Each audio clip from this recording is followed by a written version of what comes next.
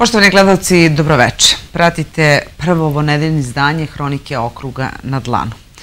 Stižemo do poslednje e, kalendarske nedelje e, ove 2020. godine. Vreme da se negde možda i sumiraju rezultati, ali mora se priznati da je sve danas nekako u drugom planu u odnosu na epidemiju koja je u toku. Čućete najnovije podatke iz Zavoda za javno zdravlje i podatke na nivou Srbije, ali i nove odluke kriznog štaba koji je danas zaseda u 15 sati, sutra zaseda vlada, te će odmah po zasedanju biti održane i preskonferencije na koje će biti predstavljene detaljne odluke. Ono što je izvesno je da 31. decembar i 1. januar će biti bez svečanog samog dočeka nove godine neće biti ni reprize, naravno opširnije tokom emisije.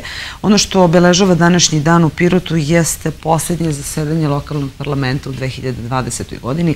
Odbornici e, Gradske skupštine dali su saglasnost na planove i programe rada javnih preduzeća i ustanova, ustanova kulture i organizacija. Ono što je centralno Odmah po završetku današnje sednice lokalnog parlamenta održana je i svečana sednica povodom Dana grada. Komisija za dodelu javnih priznanja i nagrada dodelila jedinstvenu nagradu zdravstvenim radnicima i ostalim zaposlenima u pirotskom zdravstvu. Čućete i videti izveštaj sa ove sednice, govorit ćemo u današnjoj hronici i o radu javnog preduzeća Gradska toplana, o tome kako ocenjuju ovu 2020. i kakvi su planovi za narednu godinu. Naravno, to nije sve, još neke interesantne najave, mnogo razloga da ostanete uz nas kako biste bili dobro informisani. Počinjemo vestima dana. Održana posljednja sedica lokalnog parlamenta u ovoj godini. Nagrada 28. decembar dodeljena zdravstvenim radnicima grada Pirota. Nagrade za učenike muzičke škole. Sjajna Bosch akcija u Tehnomediji do 14. januara u svim Tehnomedija prodavnicama.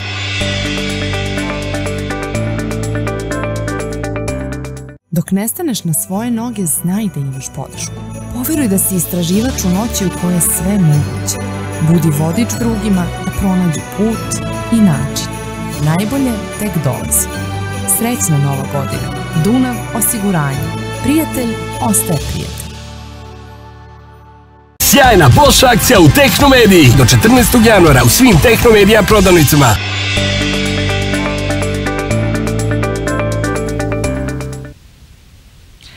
Današnju hroniku počinjemo izveštajem sa danas održane e, sednice Gradske skupštine koja je zasedala posljednji put u ovoj kalendarskoj godini. Na dnevnom redu bilo 11 tačaka, a posle radne održana je i svečana sednica na kojoj su dodeljene nagrade 28. decembar povodom Dana grada. Ove godine Komisija za dodelu javnih priznanja i nagrada dodelila je jedinstvenu nagradu zaposlenima u zdravstvu, svim zdravstvenim radnicima i ostalim zaposlenima u pirotskom zdravstvu. Da pogledamo izveštaj. Odbornici Gradske skupštine na današnjoj sednici usvojili su programe poslovanja javnih preduzeća za narednu godinu, planove i programe rada sa finansijskim planom ustanova kulture i organizacija. Usvojen je i konačan nacrt ugovora o javno-privatnom partnerstvu za rekonstrukciju i održavanje sistema javnog osvetljenja na teritoriji grada Pirota. Iako je za ove dve tačke dnevnog reda bilo rasprave i prigovora opozicije, predsednica Gradske skupštine Milena Dimitrijević ocenila je rad lokalnog parlamenta konstruktivnim.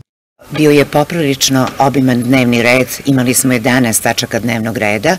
I obzirom na važnost svih tema odluka koje smo doneli, rešenja, mogu da vam kažem da sam zadovoljna, da je sednica bila konstruktivna, u demokratskom duhu, da je bilo sučeljavanja mišljenja i meni se naročito dopelo jer su i direktori javnih preduzeća i svi, svi oni koji su izveštavali o odlukama koje treba da budu donešene, da su bili vrlo detaljni i jasni, a da su se i sami odbornici, uključujući i gradonačelnika i zamenika gradonačelnika, uključili u diskusiju Između ostalog, odbornici su doneli i odluku o realizaciji budžeta u delu planiranih rashoda za usluge socijalne zaštite za iduću godinu. Odbornici su usvojili i plan rada gradskog štaba za vanredne situacije za 2021. godinu. Gradonačelnik Vladan Vasić čestitao je piroćancima dan grada i poželao pre svega dobro zdravlje u idućoj godini. Vasić je ovu godinu u sferi izvršenja budžeta i planiranih investicija ocenio uspešnom.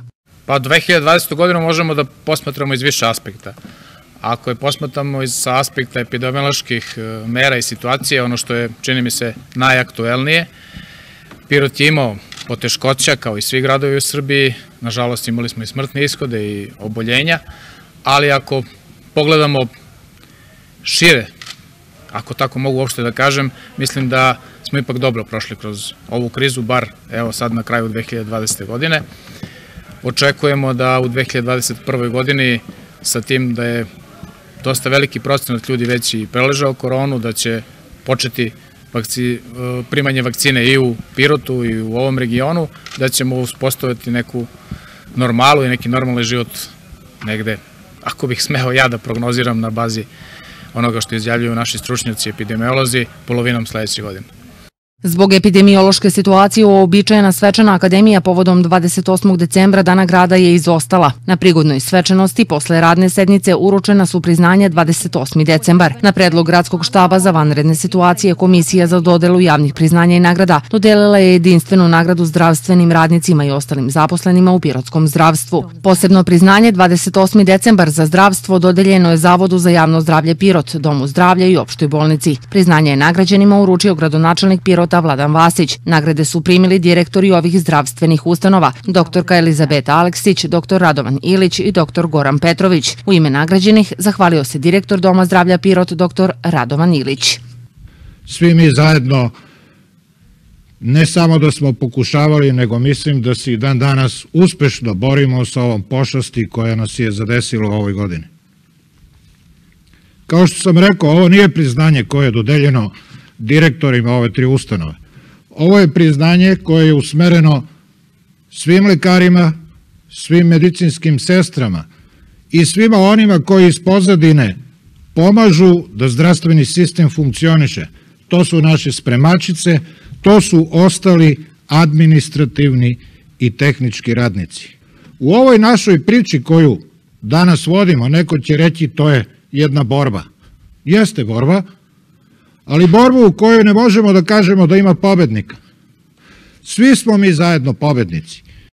Načelnica Pirotskog upravnog okruga i šef odborničke grupe Srpske napredne stranke u Pirotu Dragana Tončić istakla je da je Pirot imao i ima društveno odgovornu lokalnu samoupravu. Dokaz tome je da su sredstva namenjena za proslavu Dana grada i nove godine preusmerena na pomoć ugroženom stanovništvu. Materijalna podrška petočlanoj porodnici Mutišić iz Temske, Trajkov Sanja, žrtva porodičnog nasilja, Viktor Živković, dete sa diagnozom cerebralne paralize, Dušan Kartaljević, dete sa diagnozom mišićne distrofije, Matija Lazarević, dete sa dije, istog diagnozom cerebralne paralize, Rade Dinčić iz Činiglavaca, pomoć za veštačko stopalo, Tu je bilo i 72 korisnika po 5000 dinara jednokratne pomoćni korisnicima dečeg dodatka, čije dete ostvaruje dodatak za pomoć i negu drugog lica, 15 tablet računara u vrednosti od po 17.000 dinara za učenike sa slabim materijalnim statusom, pomoć deci sa smetnjama u razvoju preko udruženja kola srpskih sestara i nabavka 10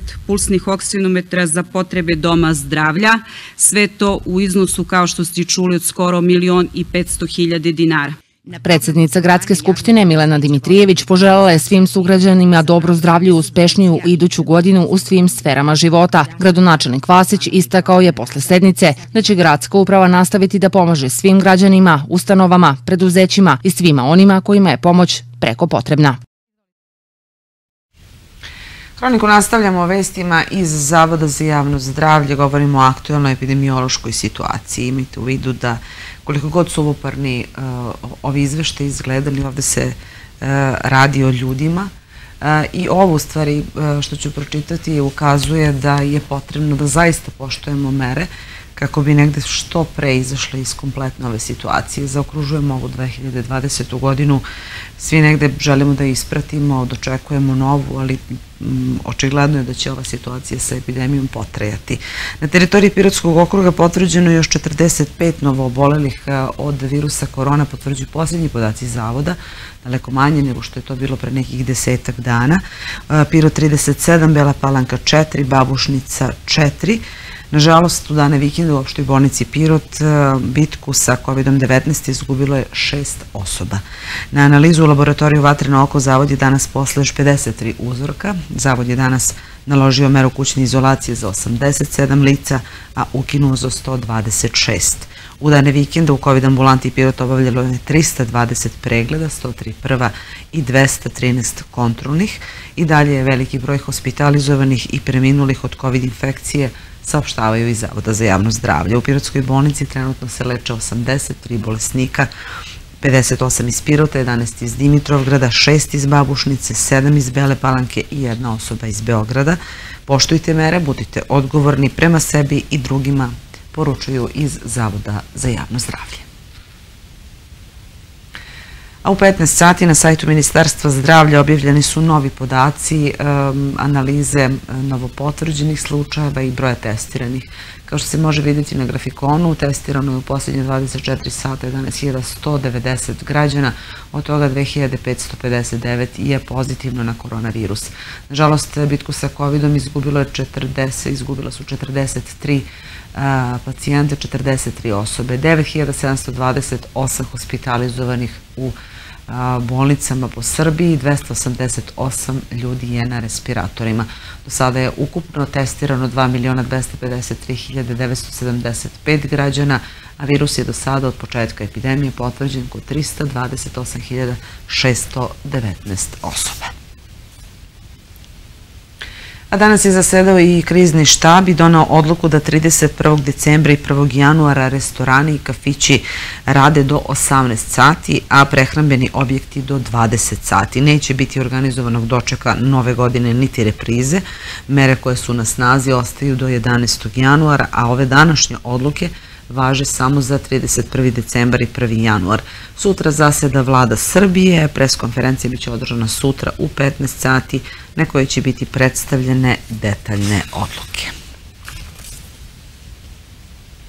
Još jedna informacija iz Doma zdravlja Pirot. Radno vreme Doma zdravlja 1., 2. i 7. januara biće od 7 do 19 sati u COVID ambulanti i ambulanti Tijabara. U istom terminu radit će i dečiji dispanzer, služba za kućnu negu i lečenje.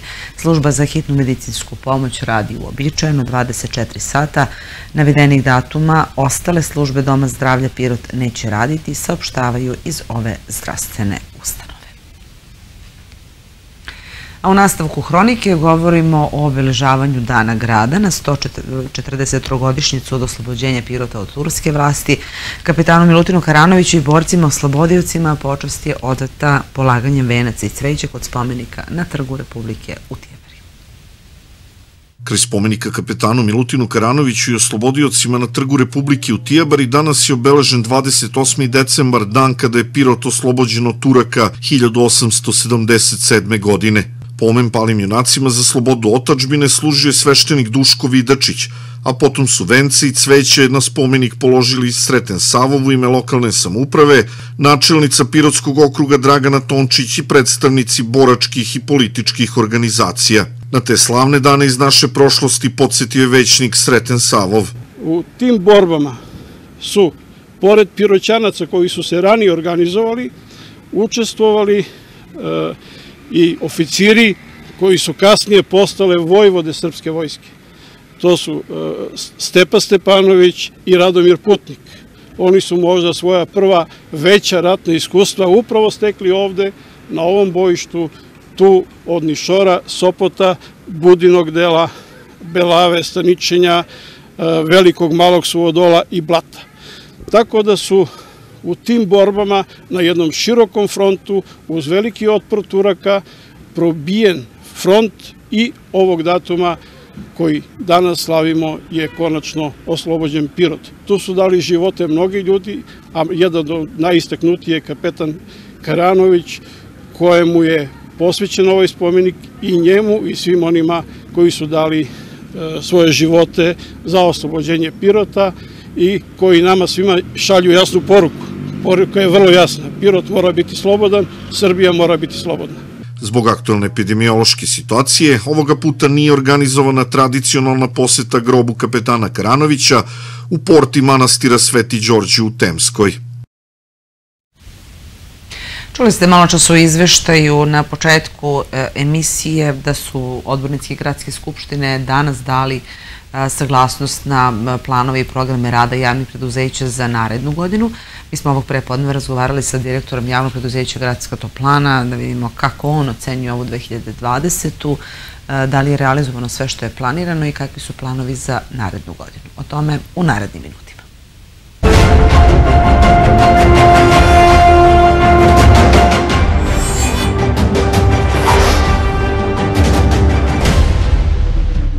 Za par dana očekuje nas i kraj godine da sumiramo nekako rezultate kakva je bila ova godina. Svi znamo da je korona obeležila e, gotovo rad e, svih javnih preduzeća, ustanova u celom svetu, u Srbiji pa i u Pirotu. Pa da, kao što ste rekli, ovo je jedna neobičajena ovaj, poslovna godina. Za nas obeležile ovu godinu dve stvari, jedna je dobra, to je uvođenje komprimovanog prirodnog gasa u energanu Senjak i promjena energenta, energenta za celu toplanu. Ovaj, a druga je nažalost loša, to je ta pandemija koja je sve nas zadesila, COVID-19, koja je počela na nekom samom kraju prošle grejne sezone, tako da smo mi nekih mesec, mesec i po dana radili u tom režimu i nekako smo izgurali grejnu sezonu ovaj treći talas, kako ga neki zovu, počeo je na samom početku naše grejne sezone, tako da imamo problema vezano za broj ljudi koji rade na terenu, za broj ljudi koji rade u Energanu Senjak, ali nekako evo, reorganizacijom i dodatnim naporima naših ljudi iz tehničke službe nekako pokušavamo da održimo sistem i kao što svi vide, svi naši korisnici i ove godine nemamo za sada nikakvih problema što se tiče grejenja, nemamo nekih većih ispadanja i mogu da kažem da grejna sezona protiče onako kako treba. Što se tiče finansijskog dela nekog poslovanja, pored svih ovaj negativnih stvari koje su se dešavale, a ovaj posledica su COVID-19. Mi smo ovaj mislim da ćemo na osnovu svih kvartalnih izveštaja koje smo imali do sada ovu godinu završiti pozitivno, odnosno sa ovaj eh, na nekom nivou određenom dobiti. Tako da pored svega ja mislim da možemo svi da budemo zadovoljni kako posluje to planu u 2020. godini. E, kada pričamo o samom radu toplane, svako preduzeće čine i ljudi, malo pre ste pomenuli da zbog epidemije prosto jeste smanjen broj. Kakve situacije kada su redovne okolnosti? Da li uh, fali broj ljudi zaposlenih u samoj toplani? Znamo da je još uvek na snazi zabrana zapošljavanja. Šta je sa administracijom i šta je sa onim radnicima koji su često na terenu? Da li fale ljudi? Pa što se, što se tiče broja ljudi kao i u svim ovaj, javnim preduzećima, na kraju krajeva kao i u gradskoj upravi, svuda fale ovaj određeni broj ljudi, tako i u Toplani. Mi radimo sa smanjenom smanjenim brojem ljudi upravo zbog te zabrane zapošljavanja, zbog nekog prirodnog odliva, ali evo imamo najava da će od 1. januara biti moguće da bez saglasnosti primimo određeni broj ljudi. U Toplani svakako fale i ljudi i u administraciji i u ovom proizvodnom delu, a i među ljudima u tehničkoj službi koji rade na terenu i rade na održavanju podstanica i ovaj svih sistema u gradu. Ja se nadam da će taj ovaj ta ovaj prekid zabrane, odnosno dozvola da određeni broj ljudi primimo, da će dati nekog efekta i da će jednostavno ljudi moći normalno da rade. Za sada stvarno radimo sa većim naporom, ljudi stvarno zbog manjeg broja ulažu dodatne napore, ali eto nekako smo izgurali i nadam se da će u narednim godinama to biti sve bolje i bolje da se vratimo na onaj broj koji nam je propisan, odnosno čuveni maksimalni broj zapošljenih, bar da njega ovaj popunimo. Trebalo bi da pomenemo i saradnju sa KFV-om koju e, Toplana ima poslednjih godina i koja je mnogo značajna za sam grad, za same piroćanci i za sve korisnike e, sistema e, grejanja. Ono što je važno jeste da se često u medijima pričaju o samom zagađenju drugih toplana koje greju korisnike i na mazut i na ugalj. Mi smo ekološka toplana, reklo bi se. Pa da, mi smo, kao što sam malo čas napomenuo, početkom godine promenili energent, odnosno izbacili smo mazut iz upotrebe, naravno on ostaje kao neko havarijsko gorivo i prešli na komprimovani prirodni gas koji stvarno ima parametre koji su za sve čestice i sve substance koje, koje se prate i koje se mere u svim toplanama, mi smo daleko, daleko ispod i onog dozvoljenog. Tako da je taj gas dao određene rezultate, mislim da je znatno promenio ekološku sliku grada i mislim da je to stvarno jedna dobra stvar pored onih drugih benefita koji taj komprimovani prirodni gas ovaj, nosi sa sobom. Mi naravno tu nismo stali, nakon toga ostalo je najveći, kao najveći problem u gradu što se tiče ekološke slike su ta individualna ložišta. Ono što je bilo u tom trenutku u našoj moći, svi znate, proglasili smo neku akciju besplatnog priključka na toplanu, tako da smo dali stvarno ovaj, povoljne uslove, što ne znam da li negde u toplanama u Srbiji postoji trenutno. Pustili smo tu akciju, ona je dala određene rezultate i to je još jedan korak da se ta individualna ložišta koje su trenutno, ja mislim, najveći problem, da ih polako gasimo i da svi prelaze na, na sistem daljinskog grejanja. Postoji tu benefit naravno i za toplanu što se tiče povećanja broja korisnika, ali prioritet je gašenje individualnih ložišta i smanjenje zagađenja u gradu.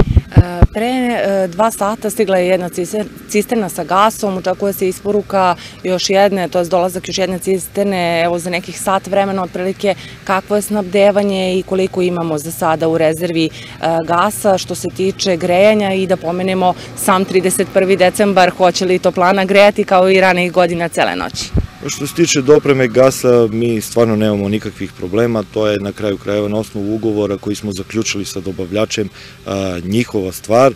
Za sada gas dobijemo kontinuirano, gas je energent odnosno to ostrovsko snabdevanje, kako ga neki zovu, koji je prisutan u toplani, ne trpi zalihe, znači kontinuirano se doprema komprimovani prirodni gas iz dana u dan. E, naš dobavljač je povezan sa, sa toplanom i u svakom trenutku ima stanje gasa koji imamo na zalih i u skladu sa tim reaguje. Više puta dnevno dobijamo te trailere ili kako ste vi rekli cisterne za gas i do sada nije bilo nikakvih problema, ja ih i ne očekujem nadalje.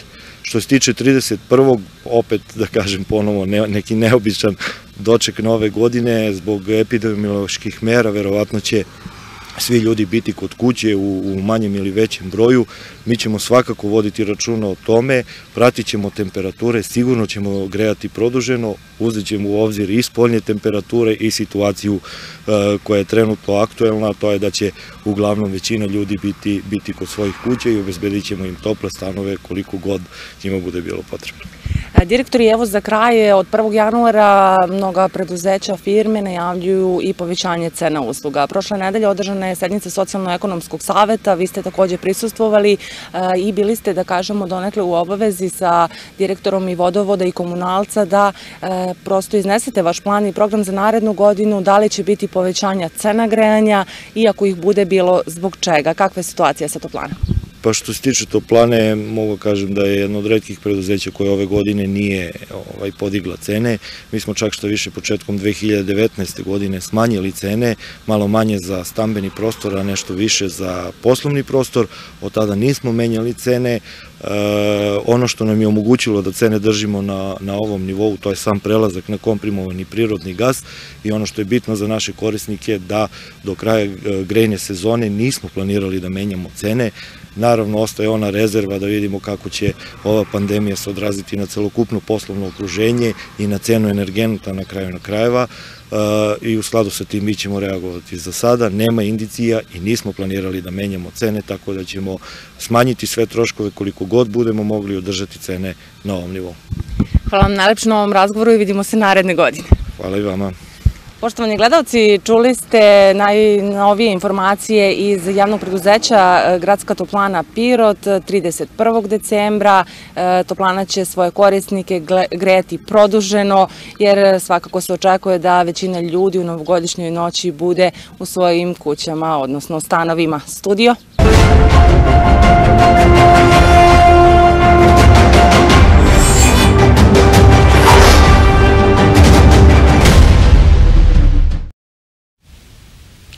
Čuli ste kakvi su planovi javno preduzeće Gradska toplana za narednu godinu i šta je aktualno u ovom trenutku kada je ovo javno preduzeće u pitanju, a danas smo se odazvali pozivu 30 meštana staničenja. Želeli su da predstave neke svoje probleme, probleme sa kojima se susreću i očekuju pomoć lokalne samouprave.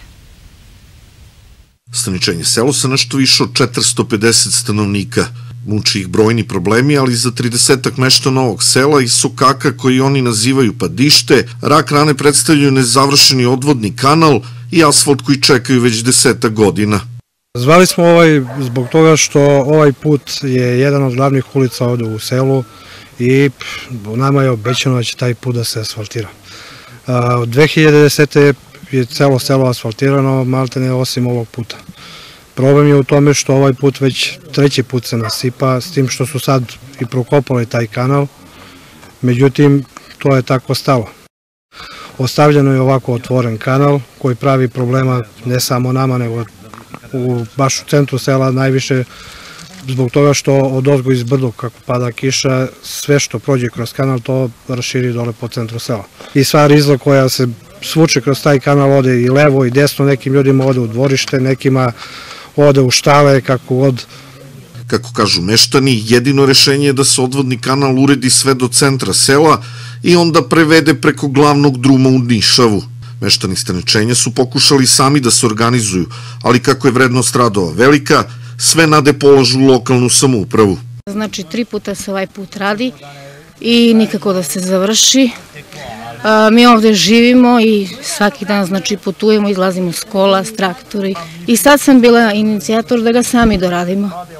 Ali pošto smo se skupili u ovako većem broju, mislim da bi trebalo da nam izađu u susret da se to završi. Nadamo se da će neko da nas pogleda, da nam pomogne, da nam izađe u susret, da ako misle sela da opstanu. Ako ne, mi ćemo da se i dalje mučimo kako smo i do sad. Razumiš, ja imam 56 godine, do sad sam izlazio tu i dalje ću da izlazim, pa kako nam Bog da. Odgovor smo potražili javnom preduzeću za planiranje i uređivanje građevinskog zemljišta. Pa mi smo zadnji put u selu Staničanju intervenisali po tom pitanju krajem prošle godine. Postoje zahtev mesne zajednice i ono što je u tom zahtevu pisalo, mi smo to ubacili u program i to smo i realizovali. U pitanju je, kao što ste napomenuli, uh, iskop podvodnog jarka u nekih, čini mi se, 120 metara dužine, dva cevasta propusta su urađene i put je nasipan rizlom u toj nekoj uh, dužini, dakle, od stotinak metara. Mi smo spremni da vidimo dakle, problem dalje i da eventualno, e, pošto ide sada nova godina i realizacija novih novih programa, da moje stručne ekipe izađu na lice mesta, da vidimo kakvi bi to radovi bili, koliko naravno sve to košta i da shodno dogovor sa gradskom upravom, eventualno, kažem, taj nastavak radova uvrstimo neki od programa za narednu godinu. Da, oko asfaltiranja to je već, da kažem, malo kompleksne pitanje, ti programi se malo rade, da kažem, dugoročni, mi već imamo planirano za sledeću godinu prilike šta i kako ćemo asfaltirati, ali kažem i to e, može biti predmet razgovora, na kraju krajeva nema konačnog rešenja problema bez asfaltiranja. Drugi problem na koji su ukazali meštani staničenja važan je zbog bezbednosti. Dva velika stabla jedina su prepreka da se ogromne kamene ploče ne obruše na put iznad mosta u centru sela. Miroslav Tošić je zahtev da se taj problem reši podneo lokalnoj samupravi još 2015. godine. Ljudi, nije ništa bitno, nikakve pare ovo je tona kamen, ja to niti mogu da pomerim, niti mogu da ozidam. Ovo da ne padne, da nisu ova dva drveta, to bi palo, ubiće nekoga. Ovde prođu danas sigurno stotinak putničkih auta, a i teretni kamioni prolaze i veliki kamioni. Ja mislim da bi trebali ipak da razmislimo prvo o ljudskim životima, pa posle o materijalnoj strani. Tu je praktično rešenje s obzirom da je privatna imovina, naravno da se ta dva drveta uklone, da se put privremeno ovaj, zaustavi za saobraćaj i da se napravi novi, novi zid. Tu je sad pitanje da li će taj novi zid biti u privatnom vlasništvu ili ne, ukoliko je u privatnom vlasništvu onda ide procedura gde privatni vlasnik mora da se odrekne to korist grade, mi ne možemo naravno raditi na privatnoj imovini, tako da su to neke proceduralne stvari, ali sve to po stranu bitno je i mislim da ćemo naredne godine i taj problem uzeti, da kažem, u postupak rešavanja. Bitno je da se, kao što ste rekli, omogući pre svega bezbednost. Svilarov je pozvao meštane staničenja da se preko saveta mesne zajednice ili preko nekog zahteva i peticije obrate za pomoć gradskoj upravi. Vrata njegove kancelarije, kako istakao, otvorena su za delegaciju iz staničenja već posle praznika, kako bi se posle razgovora našlo rešenje za ove probleme. A u nastavku hronike o sledećim temama. Mesni odbor kola srpskih sestara nije ove godine mogao da organizuje tradicionalno okupljanje na materice zbog aktualne epidemiološke situacije. Odlukom kola bolesnoj deci u gradu, pirotski potrčko Aleksa Živković podelit će paketiće na kućnu adresu, a svoj bolesnoj deci od hroničnih bolesti starosti do 14 godina paketići će biti uručeni posle nove godine. Roditelji će biti telefonski obavišteni gde i kada da preuzmu pakete, a ovu akciju pomogla je gradska uprava Pirot. Članovi motokluba Anđeli, tačni pirotski bajkeri, ove godine obradovaće decu koje pohađaju školu za osnovno i srednje obrazovanje Mladost. Međutim, zbog aktuelne epidemiološke situacije ovakvu sliku sutra nećemo zabeležiti. Biće nešto drugačija, neće biti klasično druženje dece sa, sa bajkerima, već je poklonem u ime dece primiti direktorka škole um, Vesna Todorović. Bajkeri će paketiće predati u utorak u 12 sati, a mi se nadamo da ćemo već naredne godine beležiti upravo ovakvu sliku kakvu gledate. Lepe vesti stižu nam iz muzičke škole. Devetoro učenika muzičke škole osvojili su nagrade na online međunarodnom takmičenju Memorial Sanje Pavlović koji je organizovan u Aleksincu. Pirotski učenici su se istakli u konkurenciji 189 đaka iz 21 zemlje. Anđela Đorić osvojila je prvu nagradu, drugu nagradu osvojili su Sava Jovanović, Dušan Stamenović, Mlađan Stojanović, Stefan Kocić i Veljko Stojanov. Treću nagradu osvojio je Danko Sotirov, dok je pohvaljen Mihajlo Mitić. Profesori nagrađenih učenika su Natali Vidanović, Miljana Antanasijević, Saša Aleksić i Jovan Ašković. A u nastavku govorimo i podsjećamo vas da je Dom kulture raspisao konkurs za kratku priču. Obično u ovo vreme se i raspisuje konkurs. Svi oni koji su zainteresovani da učestvuju to mogu da urade do 25. januara sledeće godine. Ono što je važno da znate da se konkuriše kratkom pričom koja nije do sada nagrađivana. Potrebno je da bude do tri kucane strane. Naravno sve se šalje pod šifrom. Radovi se šalju poštom ili dostavljaju lično u Domu kulture. Ono što je takođe važno da znate da će tri prvonagrađene dobiti novčane nagrade. U stvari, autori priče će dobiti novčane nagrade, 20.000 prva nagrada, 15 druga i za treće mesto 10.000 dinara. Ovaj konkurs je tradicionalno podržao grad Pirot. Ukoliko se opredelite, a verujem da hoćete, biti uz nas 31. decembra. Naravno, televizija Pirot i ove godine priprema bogat novogodišnji program. Počinje u 15 sati. Gledoci, svi vi možete da očekujete brojne iznenađenje, interesantni gosti, priče, i o bogatstvu stare planine, o oživljavanju kanjona i Jerme. To nije sve, još mnogo, mnogo interesantnih priča. Tradicionalno, uz pomoć svih vas, birat ćemo događaje godine. Uživat ćete u zanimljivom muzičkom programu koji smo pripremili, a sa vama će 31. decembra u programu Pirotska 021 biti novinari televizije Pirot, moje mlađe kolege Vanja Mijalkov, Marija Savić i Denis Ranđelović. decembra biti novinari televizije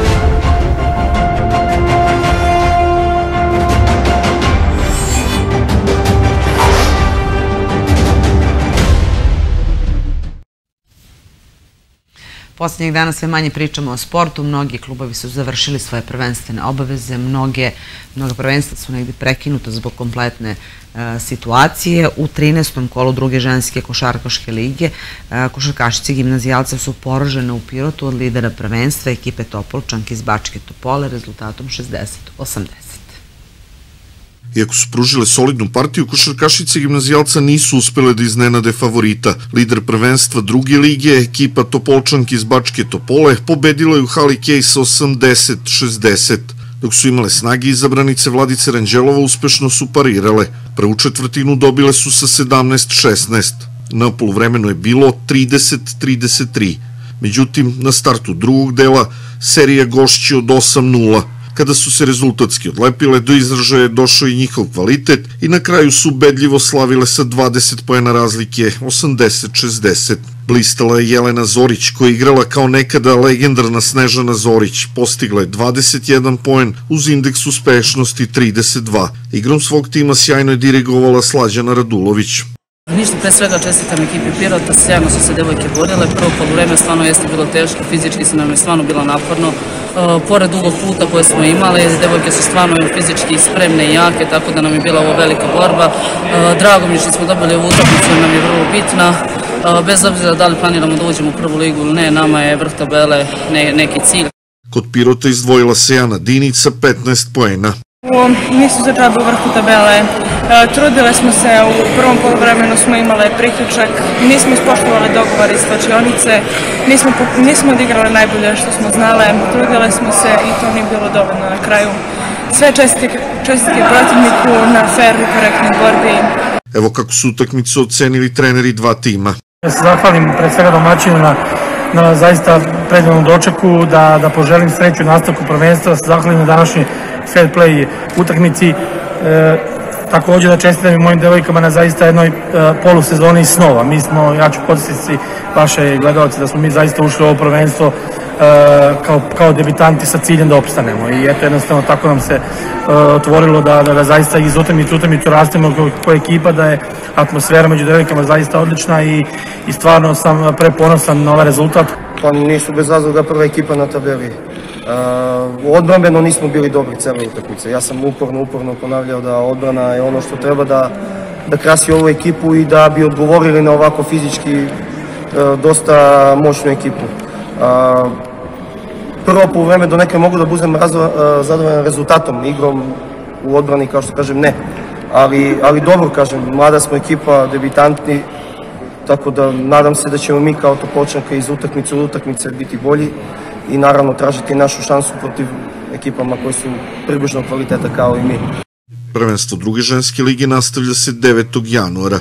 U 16. finala Kupa Srbije gimnazijalac Tigar sutra od 16 sati dočekuju Hali Kej prvoligaša, ekipu studenta iz Niša.